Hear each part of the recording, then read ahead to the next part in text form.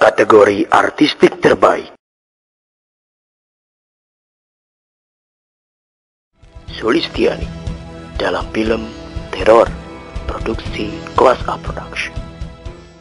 Indra Hermawan dalam film Kutip Produksi di Materi Production. Ikram Aroyan Putuarga dalam film Face of Flower Produksi Bias Production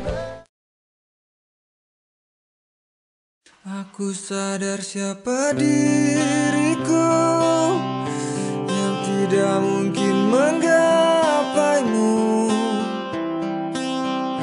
Kau terlalu indah untuk jadikan